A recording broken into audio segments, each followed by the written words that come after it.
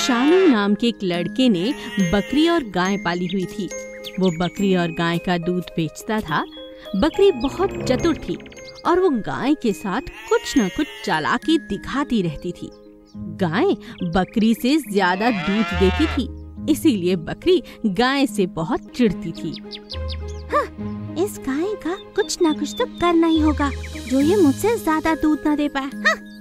एक दिन बकरी ने सोचा कल जब शामू हमें मैदान घास चराने ले जाएगा तब इस गाय के साथ कुछ करना होगा।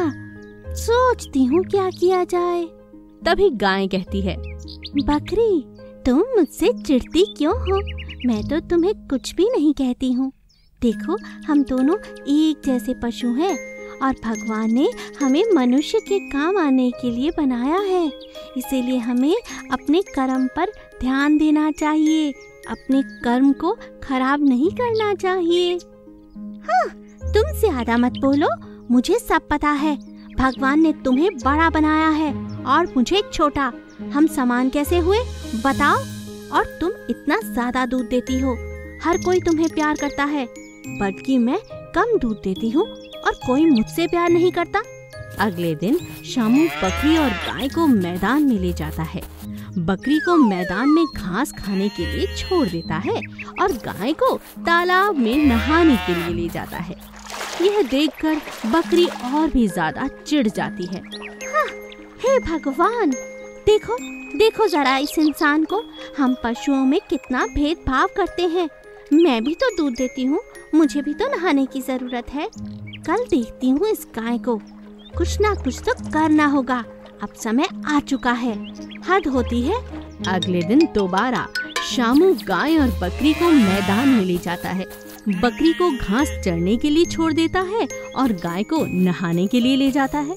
लेकिन जब गाय वापस लौटती है तो बकरी उससे कहती है हाँ हाँ वहीं दूर चली जाओ, वहाँ बहुत हरी घास है। अब इसे घास नहीं मिलेगी और ये भूखी रह जाएगी। तो ये कल दूध कैसे दे पाएगी? हाँ नहीं दे पाएगी हाँ। गाय को वहाँ कोई घास नहीं मिलती और गाय भूखी रह जाती है। फिर शामू उन्हें घर ले आता है। पर गाय तो गौ माता है, उसने फिर भी अगले दिन दूध दिया।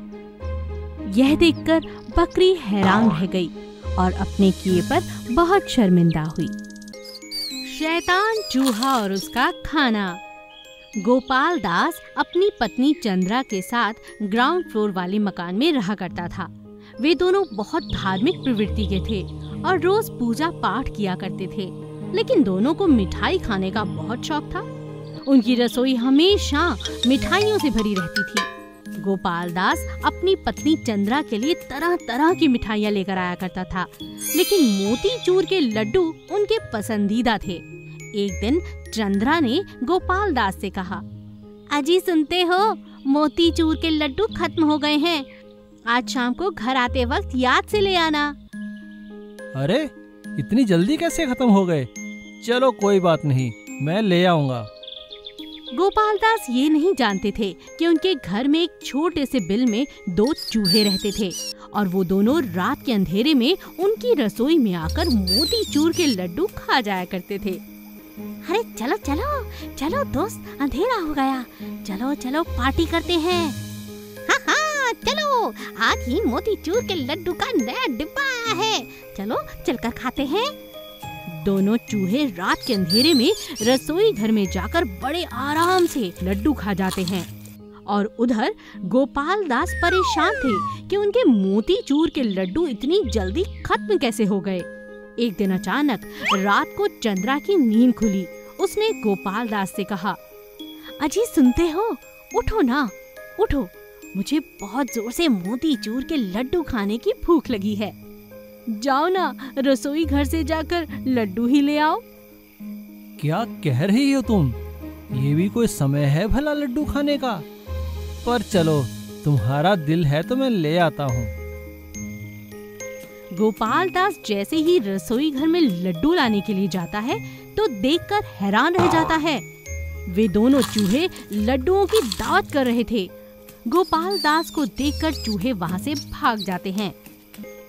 गोपाल दास तुरंत अपनी पत्नी को बुलाकर लड्डुओं के चोरों के बारे में बताता है।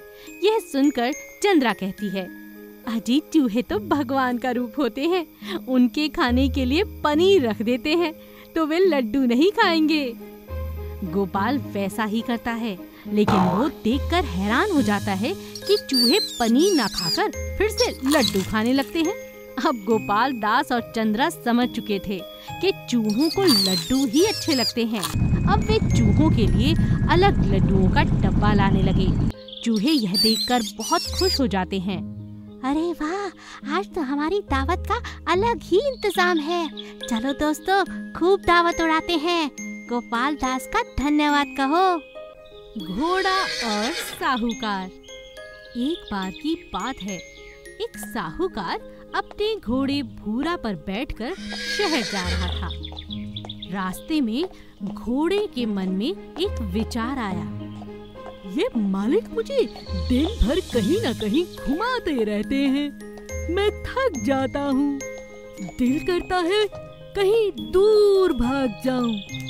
बाकी घोड़ों के साथ खेलूं, दौड़ूं, आज़ाद हो जाऊँ। इतनी खूबसूरत दुनिया है, कहीं जाकर आराम से दुनिया देखने के मज़े लूँ। मगर मेरा साहूकार सेठ तो मुझे कहीं जाने ही नहीं देता। हमेशा बाँध कर रखता है।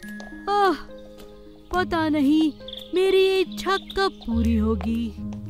उधर मालिक को अपने घोड़े पर बहुत प्यार आता है और वो उसकी भूख की चिंता करने लगता है। अरे अरे, बहुत देर चल लिया। थक गया होगा, है ना भूरा? वो रास्ते में घोड़े को हरी हरी घास खाने के लिए खुला छोड़ देता है। देख देख कितनी बढ़िया हरी हरी घास है। तुझे भूख लगी होगी। जा जाकर खा ले। अब घोड़ा ये मौका पाकर वहाँ से भागने की सोचने लगता है। क्यों ना यहाँ से भाग जाऊँ? ये मौका बहुत अच्छा है। हम्म मगर कैसे? यहाँ से भागना बहुत मुश्किल है। पूरा भागने की बहुत कोशिश करता है मगर वो भाग नहीं पाता। दोनों आगे बढ़ जाते हैं। मुझे भागना ही होगा। ये मालिक तो मुझ पर सवार होकर यूँ घूमता ही रहेगा।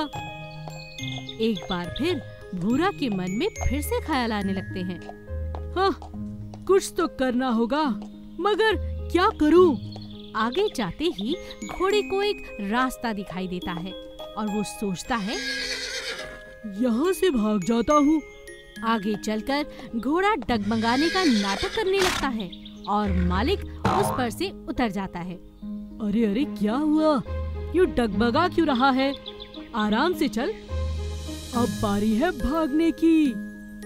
जैसे ही भूरा भागता है, मालिक उसके पीछे भागने लगता है। अरे भूरा भूरा आगे खाई है। क्या कर रहा है रे तू? अचानक तुझे हुआ क्या है? भूरा नहीं सुनता। उसका मालिक उसे बहुत रोकने की कोशिश करता है। अरे भूरा रुक जा मेरी बात सुन। भूरा आगे खाई में गिरने ही वाला था। कि अचानक मालिक भागकर उसकी पूंछ खींचता है और उसकी जान बचा लेता है। तभी भूरे को अपनी गलती का एहसास हुआ। ओहो, मैं अपने मालिक के लिए कितना गलत सोचता हूँ। ये तो मुझे बहुत प्यार करता है। मुझे अब दोबारा ऐसी गलती नहीं करनी चाहिए। बेवाकूफ मोर। एक जंगल में सोनू नाम का एक मोर रहा करता था। वह बहुत ही सुंदर था। उसे अपनी सुंदरता पर बहुत घमंड था। लेकिन वो सुंदर होने के साथ साथ बहुत बेवकूफ़ भी था। सोनू को बेर खाना बहुत पसंद था। वो सिर्फ़ बेर ही खाया करता था और अच्छे अच्छे ताजे ताजे बेरों की तलाश में वो जंगल में काफ़ी अंदर तक चला जाया करता था। सोनू की इस आदत से उसके सभी घर वाले परेशान थे और उसे हमेशा समझाते थे। एक दिन मोर की माँ ने कहा, बेटा सोनू, तुम ये घने जंगल में मत जाया करो। वहाँ शिकारी आते हैं। तुम कभी भी उनके जाल में फंस सकते हो बेटा। मैं क्या करूँ माँ? यहाँ खाने को पेड़ ही नहीं है और मुझे बेर की तलाश में जंगल में ही जाना पड़ता है। सोनू किसी की बात नहीं मानता और वो बेरों की तलाश में घने जंगल में चला जाता है। वहाँ एक शिकारी ने अपना जाल फैला रखा था। मोर को देखकर वह शिकारी खुश हो जाता है। अरे वाह, आज तो मेरा भाग्य बहुत अच्छा है।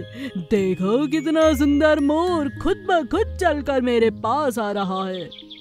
शिकारी ने सोनू मोर को देखते ही उसे पकड़ने के लिए जाल फेंका। लेकिन सोनू उसके जाल में ना फंसकर उसकी पकड़ से बच गया और उड़कर भागने लगा। शिकारी भी उसके पीछे भागा। अरे रुको अरे रुको रुको कहाँ भाग गए हो? तुझे तो मैं पकड़ ही लूँगा। लेकिन सोनू तब तक भागता रहा जब तक शिकारी उसकी नज़र से ओझल ना हो गया। लेकिन इस भागम भाग में सोनू को पता ही नहीं लगा कि वो जंगल के किस हिस्से में आ चुका है। चलो अच्छा हुआ जान बची। शिकारी तो अब दिखाई नहीं दे रहा। अरे लेकिन मैं यहाँ कहाँ हूँ? मुझे तो कुछ समझ नहीं आ रहा। सोनू धीरे धीरे उड़ता हुआ वहाँ से अपने घर की ओर चला। लेकिन रास्ते में खूब सारे पेड़ों की झाड़ियाँ देखकर उसका मन ललचाने लगा। अरे वाह, इतने मीठे बेर चलो, घर जाने से पहले खूब सारे बेर खा लेता हूँ। बहुत भूख लगी है। और सोनू निश्चिंत होकर बेर खाने लगा। लेकिन वो यह नहीं जानता था कि हवा में उड़ता हुआ एक बाज उस पर नज़र रखे हुए था। अरे वाह, इतना मोटा ताज़ा शिकार।